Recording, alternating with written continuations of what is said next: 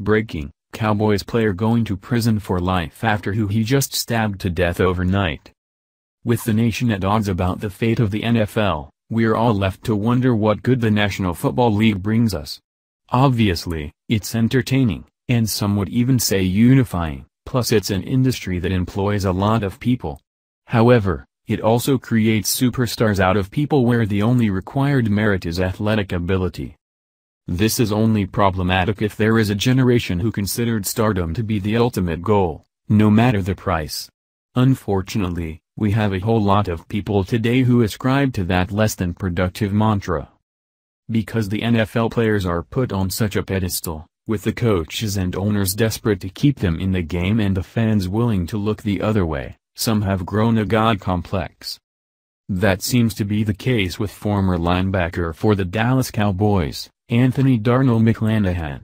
McClanahan is staring his own mortality in the face, as law enforcement has caught up to him after he violently killed his wife, Kerry McClanahan. America's Freedom Fighters reports that McClanahan is being charged with first-degree murder.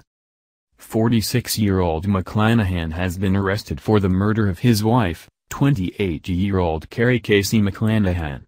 McClanahan is suspected of stabbing his wife Casey repeatedly in the throat at the Park Regency Resort condominiums as of Thursday.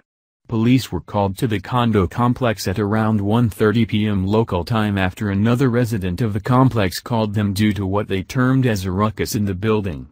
McClanahan himself flagged down a police car around the same time. Police found Casey lying on her bed with knife wounds on her throat. She was pronounced dead at the scene, according to local news affiliate Fox 13 Salt Lake City. McClanahan has officially been charged with the first-degree murder and Casey's death though his motive is currently unclear. Casey was the mother of two children, a nine-year-old daughter and a seven-year-old son from a previous relationship. This former member of America's team doesn't seem to be adjusting to civilian life too well. The life that many NFL players live is so charmed, with the entire world moving mountains for them so that they don't have to pay for their actions, that it seems to give them a false sense of right and wrong. Whatever they can get away with is what they think is right and nothing is wrong if you can pay your way out of it. Sadly, this isn't McClanahan's first brush with the law. McClanahan also had charges filed against him for kidnapping his 80-year-old son from another relationship at his school in Maricopa County, Arizona, on October 3. The boy's mother found McClanahan the following day and demanded the boy back as she is his custodial parent, however, McClanahan refused forcing her to obtain a court order.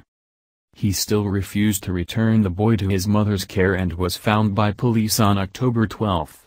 He was then arrested on a fugitive warrant and locked up in Salt Lake City jail where he paid $150,000 bail on October 19 and was released.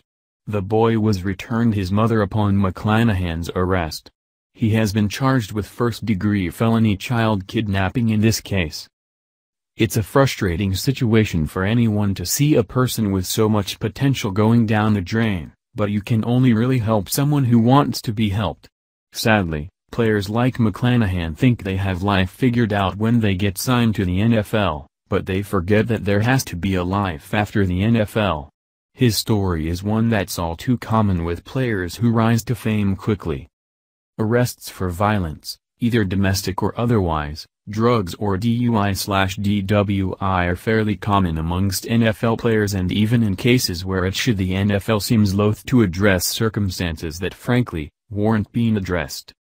According to Forbes, more first-round draft selections will be arrested while playing for the NFL than will ever be named first-team All-Pro. The risk that a top draft selection will get in trouble with the law should be of genuine concern for the NFL. Perhaps if players of professional sports were held more accountable for their actions both by the NFL, universities, communities, etc. then perhaps we could avoid situations like what Aaron Hernandez or now more recently former linebacker for the Dallas Cowboys, Anthony Darnell McClanahan. McClanahan was signed to the Cowboys back in 1993 going on to play for the Calgary Stampeders and currently referred to himself as a sports performance consultant. McClanahan is apparently trying to blame his behavior on injuries sustained from his days with the NFL, the Salt Lake Tribune reported.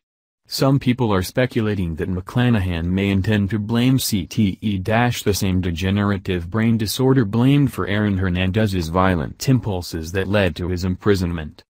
While most of us were sad to see the NFL going the way that it has, there's no great tragedy without some small gain.